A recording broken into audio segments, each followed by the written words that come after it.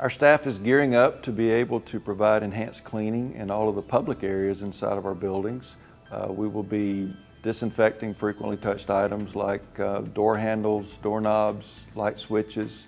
We'll be providing more hand sanitizer in the public areas for public use as well as in the instructional areas for people inside the classroom to use. We're sitting in a room that used to hold 40 students, but now we've had to reduce it to only 20 students to maintain the six foot social distancing requirement.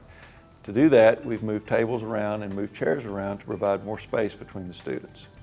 We've been actively installing temporary signs inside of our buildings to let everyone know what the maximum number of occupants each room can stand to maintain social distancing.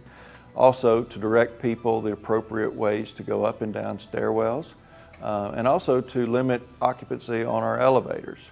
So our facilities department has been working behind the scenes over the last several months, cleaning and disinfecting, making sure that the buildings are safe to occupy.